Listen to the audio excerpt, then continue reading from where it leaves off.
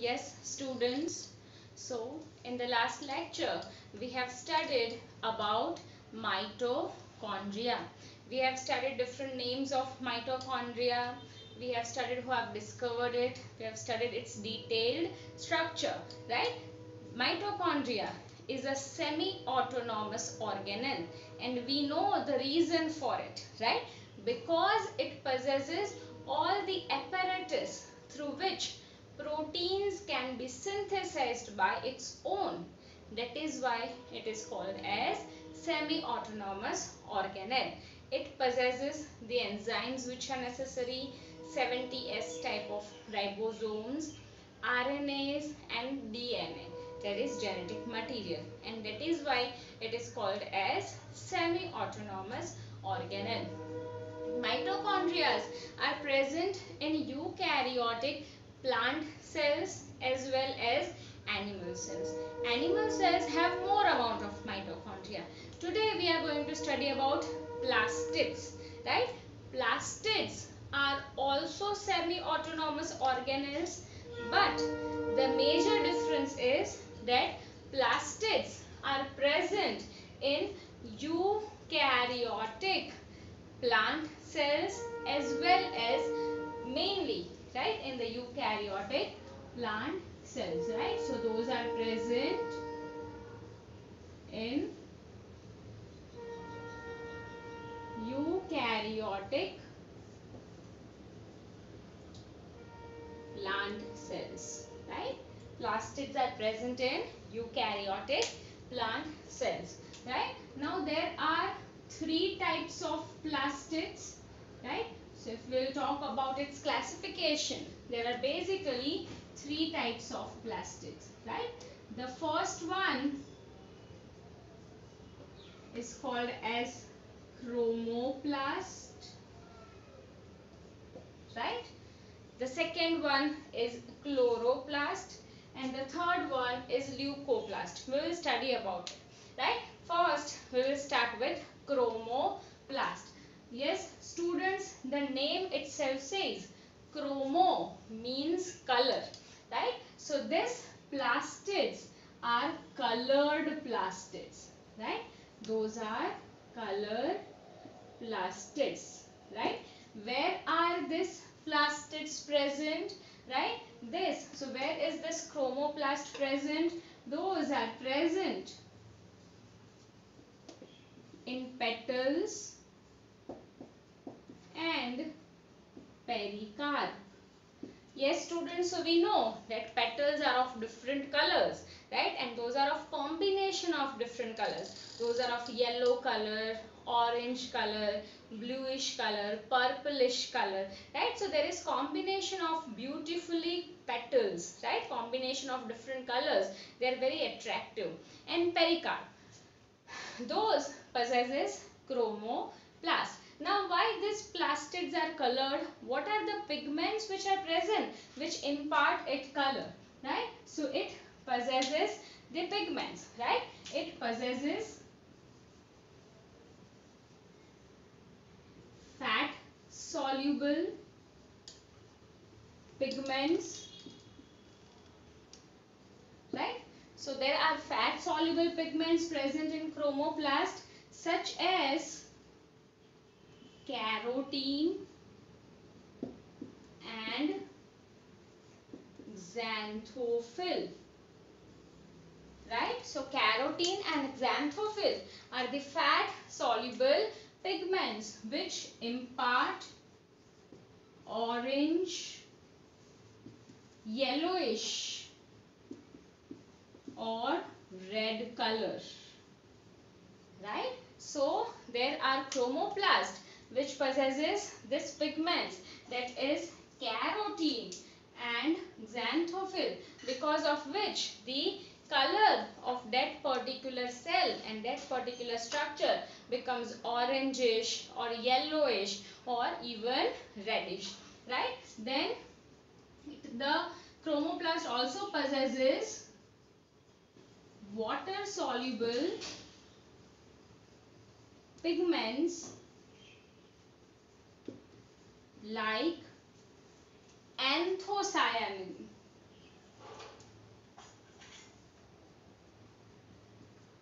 and anthochlor right?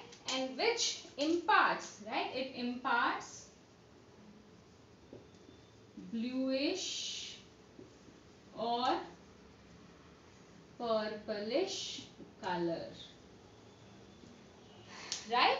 So, the first plastid is chromoplast. Chromoplast is colored plastid, colorful plastid. Now why this chromoplast possesses specific colors? Because they possess certain pigments which gives them colors, right? Where are this chromoplast present? Those are present in the petals. We know that the petals are always beautifully and brightly colored. Those colors are imparted by all these pigments and pericarp, right? Which pigments can be present? The fat soluble and water soluble pigments. Fat soluble pigments are carotene and xanthophyll which gives orange or yellowish or reddish color. Water soluble pigments are anthocyanin and anthochlor which gives bluish color and purplish color. Right? There is one more pigment that is lycopene. Right? Lycopene is also a pigment which gives red color to say for example tomatoes and red chilies. Right? So students, you know that tomatoes are initially green in color. So those are green because they possess chloroplast. Gradually, this chloroplast is substituted by chromoplast and the pigment which enters is lycopene and that is why the yellow, the red color of the tomatoes is because of lycopene. Then similar is the case with chilies, right? There are green chilies. Green chilies have chloroplast. Chloroplast gives green color, right? But as and when time passes, this green color gets converted into red color. Those chilies are red chilies, right? So this red chilies possesses lycopene pigment. Clear? Right? So we have talked about the first plastid that is chromoplast. Right? It is a colorful plastid. Pigments, fat soluble, water soluble, lycopene which gives red color to the tomatoes and red chilies. Right? So this is about the first plastid. Right? The second plastid is chloroplast, right? Chloroplast. Now chloroplast is green colored plastid, right? So it is a green colored plastid due to presence of chlorophyll right? So we know chlorophyll imparts green color right? So due to the presence of chlorophyll the color of the plastid is green colored plastid those plastids are chloroplast. We have to study the detailed structure of chloroplast right? So first we will study the types then we will study the structure of chloroplast right? So, chromoplast, chloroplast. The third type of plastid is called as leucoplast. We will study it.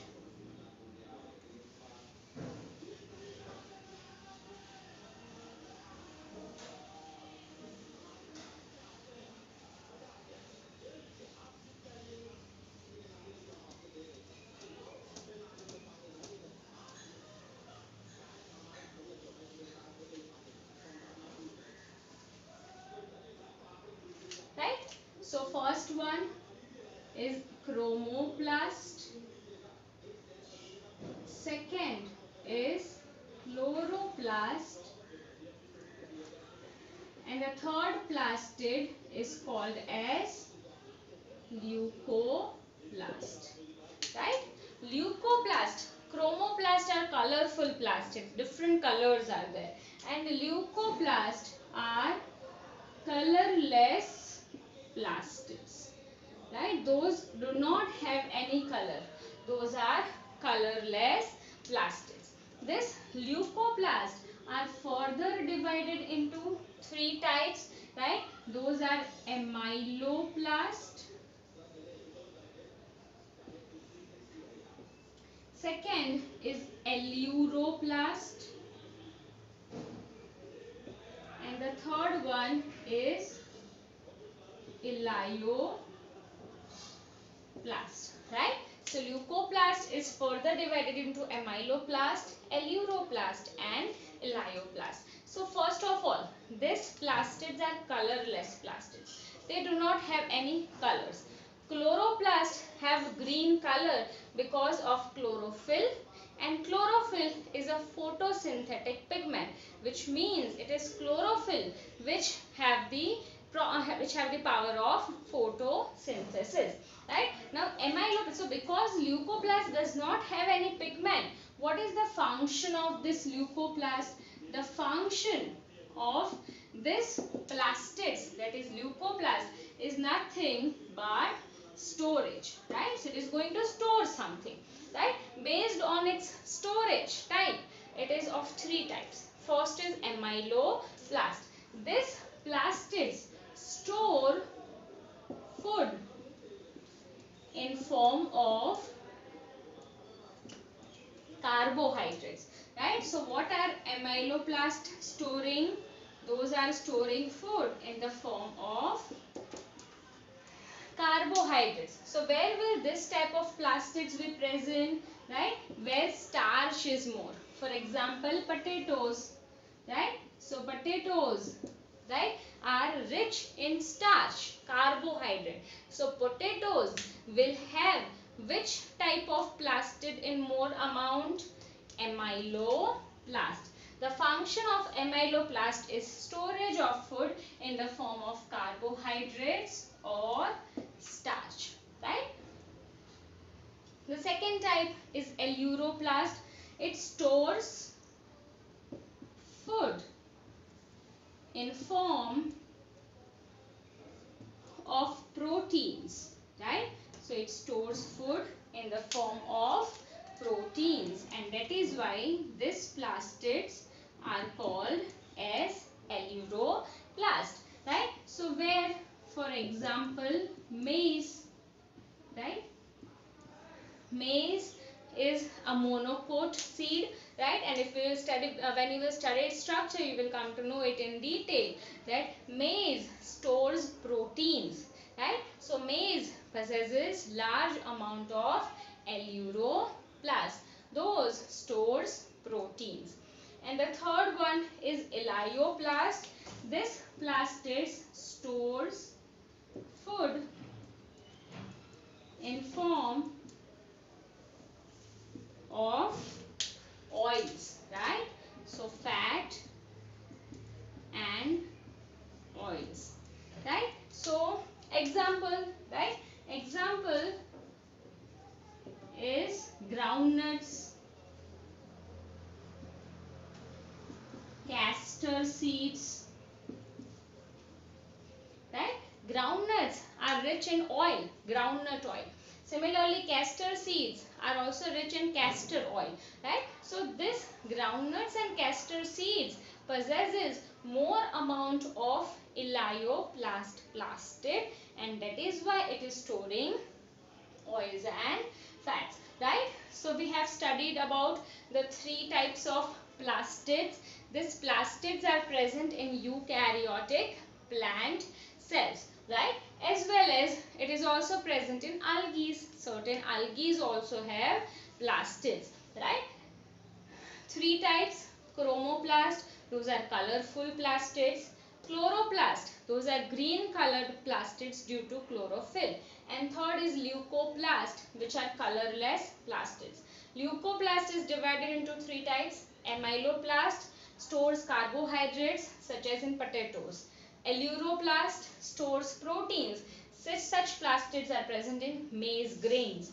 Elaioplast, they store fats and oils and those are present in groundnut seeds and in castor seeds. Now we have to study about the structure of this plastids. What is the shape? What are the shapes of this plastids and structure, detailed structure of chloroplast.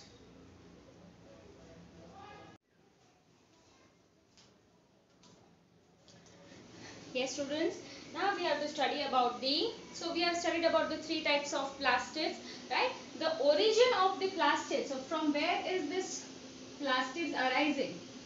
Origin of plastids is from protoplastids, right? These plastids are arising from its basic form. That basic form of the plastid is called as protoplastids. So there are three types. All these three types of plastids are interchangeable. What does that mean? Right? That the leucoplast can get converted into chromoplast. Right?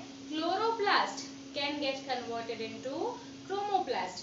But students noted chromoplast can never get converted into chloroplast right? Once the chilies become red now they cannot again become green right? So chromoplast can never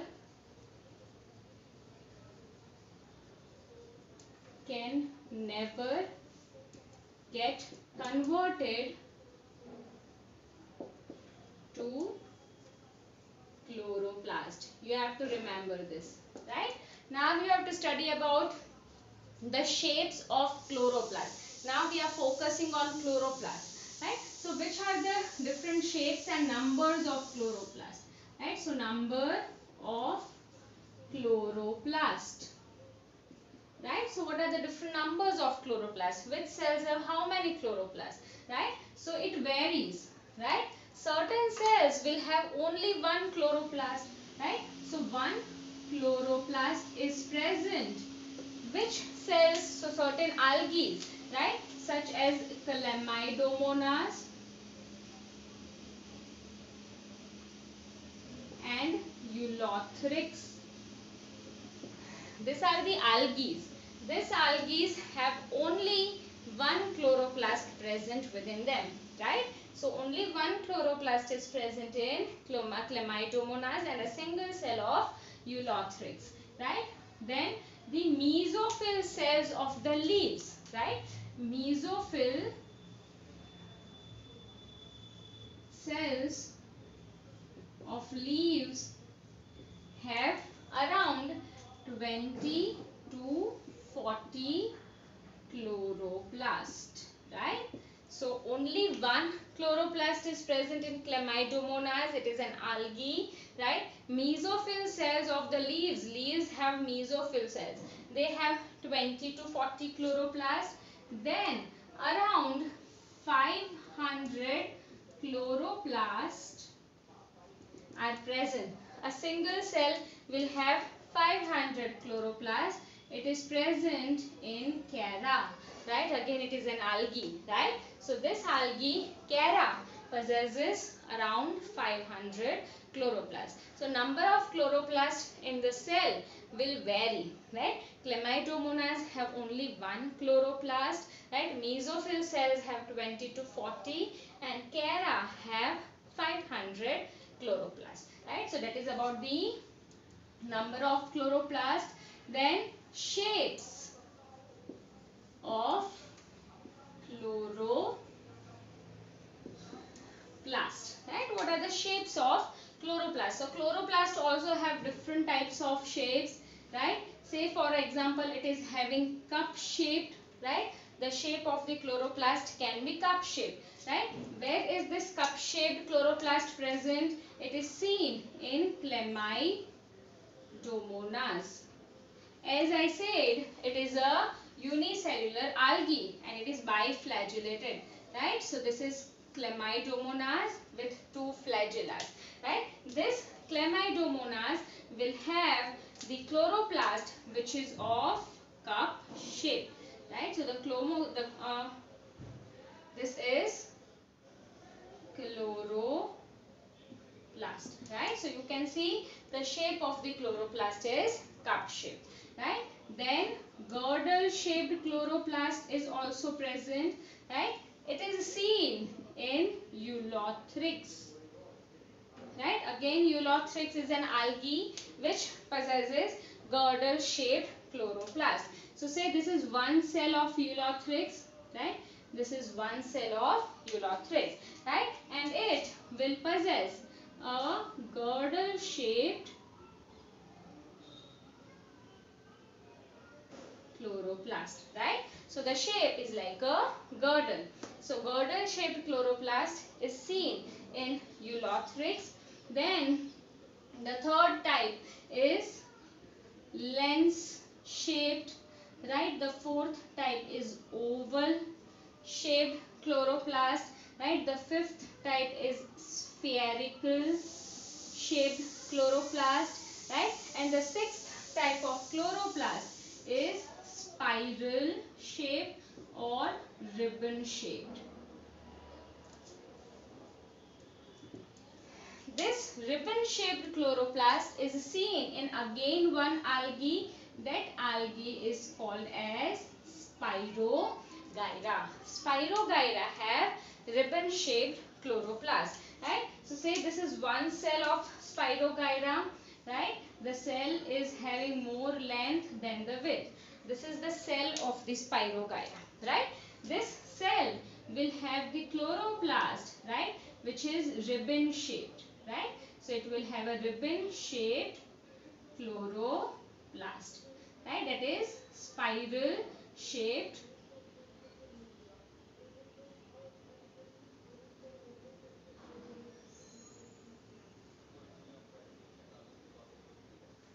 right? So this is chloroplast.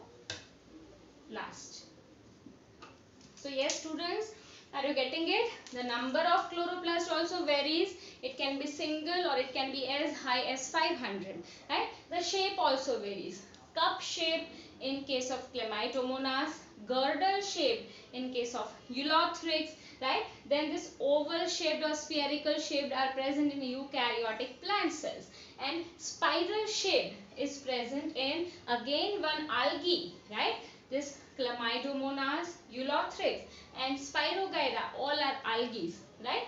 Spirogyra have a ribbon and a spiral shaped chloroplast.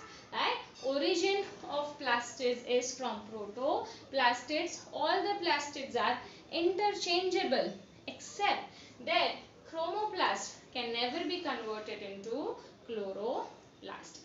Right? Now we have to study about the detailed structure of chloroplast.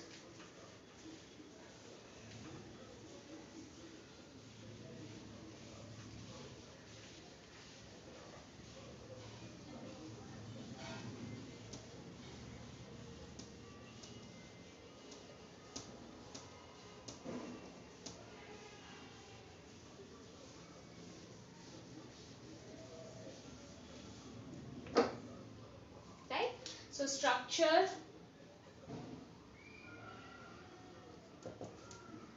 of chloroplast.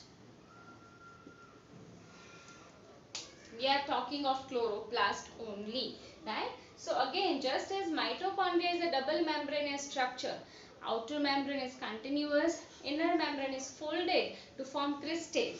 Similarly, chloroplast is also a double membranous structure, right? So the outer membrane, outer membrane of the chloroplast is continuous, right? So you can see we have drawn and um, you can say a lens shaped or oval shaped chloroplast, right? So this is outer membrane. Outer membrane is more permeable right and they have more amount of phospholipids they have more amount of phospholipids than proteins right so more lipids than proteins right inner membrane is also present, right? So there is presence of inner membrane also.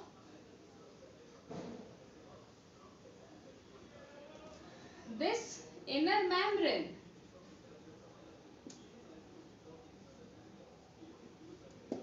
Is less permeable. Right? It is less permeable and they possesses more amount of proteins than phospholipids. Right? So proteins are present in more amount than phospholipids right? Now inside the inner compartment possesses a gelatinous matrix which is called as stroma right? So this is called as stroma right? In mitochondria there was matrix. Here it is called as stroma this much is clear right so it is a double membranous structure outer membrane more permeable more lipids than proteins inner membrane less permeable more proteins than lipids and the inner space is called as stroma. Now what is present inside this stroma? Right? What is present inside this stroma? So stroma possesses the stack pile arrangement of thylakoids. Right? So these are the thylakoids. Those are the coin-like structures. Right? Thylakoids are nothing but coin-like structures which are arranged in a stack pile arrangement right let me draw one more layer right so these are also thylakoids this are also thylakoids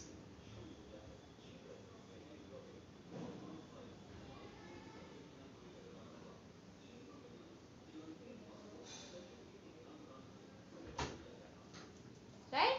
So, stroma possesses this structures, right? This membranous structures, right? With a lumen enclosed within it. These structures are called as thylakoids, right? This is the membrane of thylakoid and the inner space is called as lumen of thylakoid. So, this is one thylakoid. Many such thylakoids are arranged in a stack pile arrangement. Again students you know that when we keep the coins one upon the another that is a stack pile arrangement. Similarly this thylakoids are also arranged one upon the other. That is why it is called as stack pile arrangement. This stack pile of thylakoids is called as grana right? So this is called as granum. Singular form is granum. When many such granums are present all of these are combinedly called as grana right so one chloroplast have approximately 20 to 100 grana right so such 20 to 100 granas are present in one chloroplast and one grana, one granum have around 50 to 100 thylakoids. So yes students are you getting it? Such 50 to 100 thylakoids are arranged in stack pile to form one granum and such 20 to 100 granas are present in one molecule of chloroplast. This much is clear. Now, these granas are also connected with each other, right? So, these granas are also connected with, it, with each other, right? These connections are called as stroma lamellae or fret lamellae or stroma thylakoids yes students this much is clear right? So first of all we are talking about the inner space that is called as stroma stroma possesses stack pile arrangement of thylakoids. This stack pile arrangement is called as grana right? Around 20 to 100 granas are present in one chloroplast and one granum will have 50 to 100 thylakoids.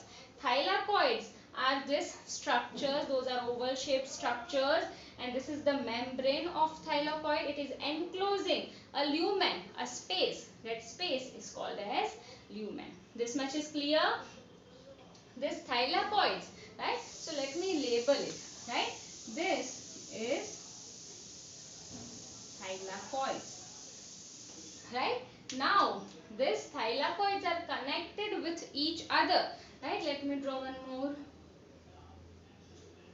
granum right? So this thylakoids are connected with each other by again the channels. Those are called as stroma lamellae or fret lamellae or stroma thylakoids right? Now what does this thylakoid possesses? What does this membrane of thylakoid possesses? Thylakoids have have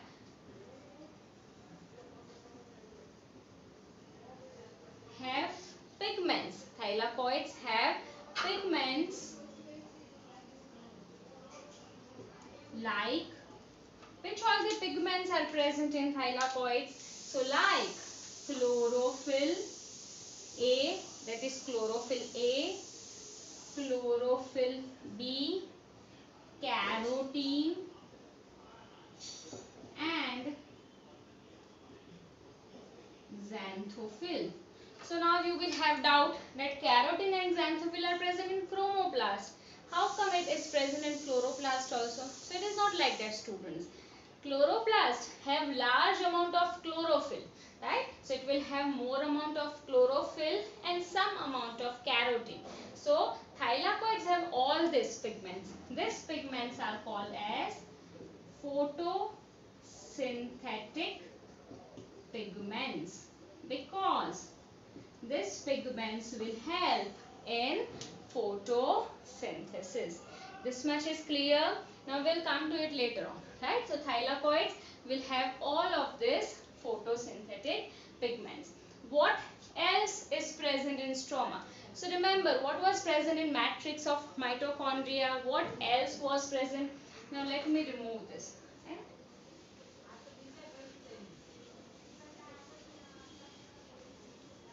What else is present in stroma? So stroma will have enzymes right? So there will be enzymes present. Right? Which enzymes are present? Enzymes. So mitochondrial matrix had the enzymes for Krebs cycle. This stroma have the enzymes for Calvin cycle also called as dark reaction. So you know students photosynthesis consists of light reaction and dark reaction. So the enzymes for dark reaction are present in the stroma. The main enzyme is Rubisco. Right? It is the main enzyme. It is the most abundant enzyme involved. Right? The most abundant enzyme that is Rubisco is present in the stroma. It is the enzyme for dark reaction or Calvin cycle. Then what else is present in stroma? Stroma will have this ribosomes right? So ribosomes will also be present in stroma. We are talking about what all the things are present in stroma. Which type of ribosomes are present? 70s type of ribosomes are also present in stroma. What else is present in stroma? Stroma will have its own 50 to 100 thylakoids. Right? What else is present stroma they have enzymes for the dark reaction the most important one is rubisco it will have ribosomes of 70s type remember students ribosomes are always this 70s ribosomes are prokaryotic type. So mitochondria and chloroplast both have 70s type prokaryotic ribosomes. It also has its own circular DNA and RNA. So it possesses all the which are needed to produce new proteins and enzymes. That is why chloroplast is also called as semi-autonomous organelle just like mitochondria. One more thing students. What is quantasomes? Right? Quantasomes. What are quantasomes? Quantasomes are nothing but around 230 pigments. Right? Photosynthetic pigments. Right? Present on thylakoid. Right? and its range is from 250 to 300 right so this 2 230 photosynthetic pigments whether it is chlorophyll A, chlorophyll B, carotene, xanthophyll all these photosynthetic pigments form one unit that is called as quantasomes. Yes students, so we have seen about the structure of chloroplast. But more thing which you have to study in it is, see one more thing, chloroplast are dimorphic organelles. Chloroplast are dimorphic organelles which means it is having there are two different types of chloroplast two morphologies are there which are those two those two are granule chloroplast and agranule chloroplast.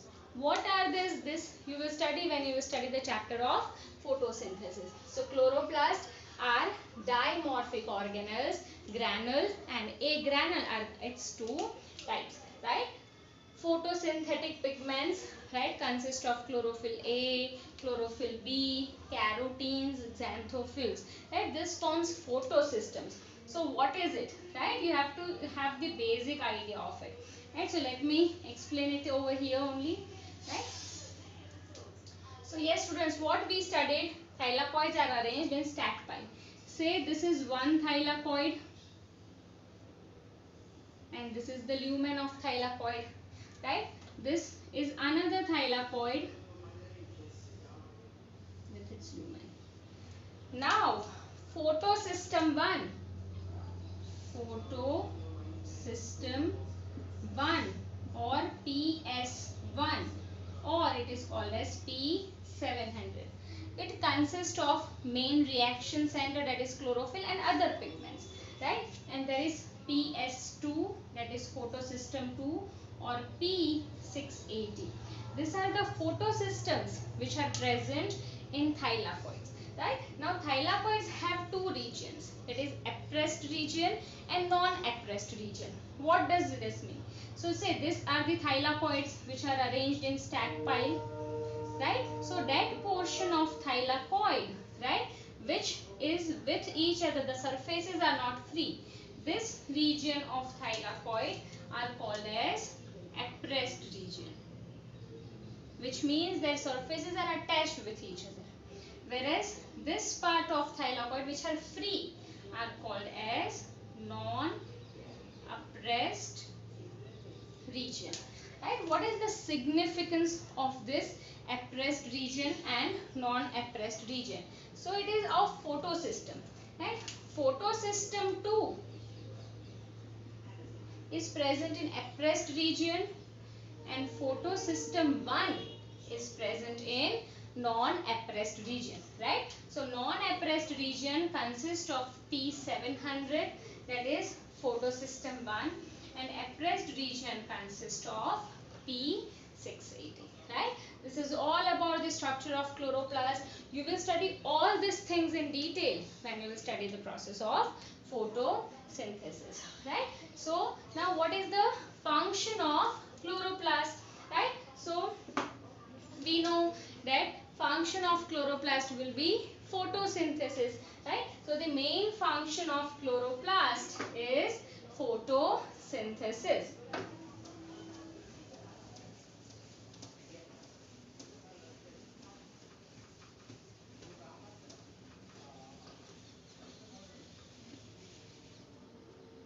Right? So function,